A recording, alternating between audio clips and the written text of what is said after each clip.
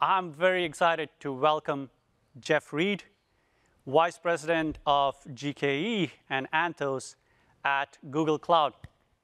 Welcome, Jeff. Hey, Prashanth. It's so great to be here. All right. Jeff, let's, let's start off with some of the big trends as you as a cloud provider are seeing in this space, and particularly how Google Cloud and your team is helping customers make that transition. Yeah, sure. So a few threat trends, and I think these are ones that probably most people will be uh, familiar with. So one is like hybrid's really important.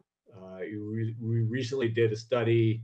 You know, 78% of respondents said that hybrid is either a must-have or a very strong factor in terms of their decisions around cloud. So as much, you know, I'm I'm all with you, and everything you said in the trends in the opening is correct.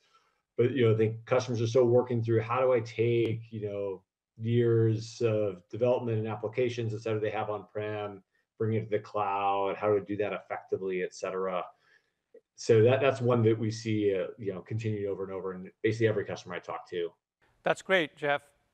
And you know, Cisco and Google have had some long-standing strategic relationships, right? So from your perspective, what do you think are some of the benefits of our joint customers get because of our partnership? Yeah, so one of the great things about what Cisco and Google can do together is coming back to the conversation on hybrid. You know, Cisco's been a leader in networking for decades, not a leader, the leader in networking for decades. And what I see Cisco doing and working with Google is really how do we enable that hybrid model? You know, there's decades of data and applications, et cetera, in customers' environments.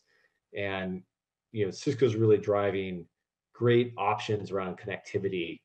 And so you see the like an example is the work that Cisco SD-WAN team has done with the Google network team in the Network Intelligence Center at Google to try to make it really simple for you to get connectivity to the right resources securely, both on-prem, cloud to cloud, et cetera. Like Cisco's really enabled that.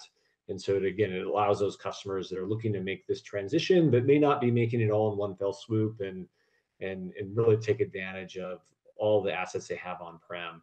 And similar thing in terms of what you see Cisco doing around areas like uh, you know HyperFlex and working with the, actually this the Google Anthos team running Anthos on HyperFlex.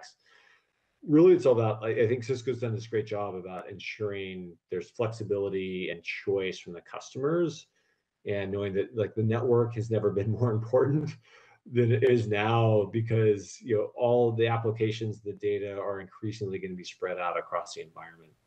That's really interesting, Jeff. And we've had this conversations with our customers, right? So when it comes to this deployment model, what do you think is that balance between when customers should go and choose a cloud-specific development versus a cloud-agnostic, cloud-neutral architecture?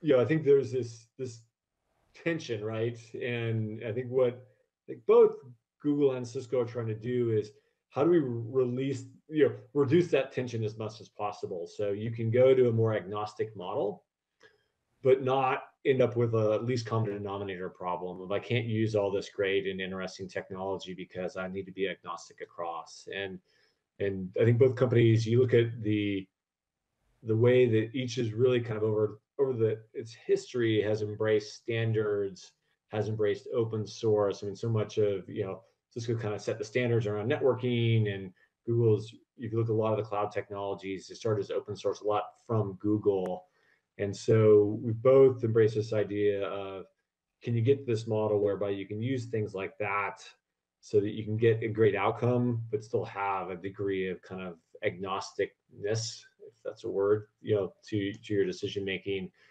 That's great, Jeff. Hey, thank you for sharing those insights, and thanks again for your partnership. Oh, my pleasure. And uh, thanks so much for having me.